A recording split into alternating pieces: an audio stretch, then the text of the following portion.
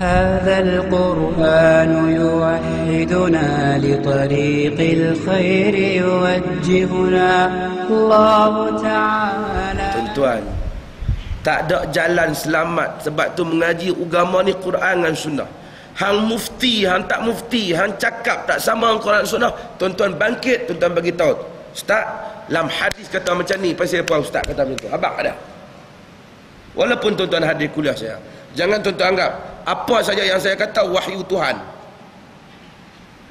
Bersandarkan dalil kita pakai. Kalau pakai pendapat sendiri kita tolak. Hang mufti kan, hang syekh Hang imam ke, hang tak imam Sama dalam masalah ini. Kerana yang kita daulatkan ialah Al-Quran dan Sunnah. Itulah bezanya pengajian Ahlu Sunnah Dengan pengajian orang yang tidak Ahlu Sunnah.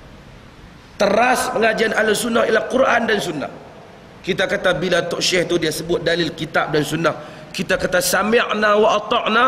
Dengar dan patuh. Bukan pada Tok Syekh. Kepada kitab dan sunnah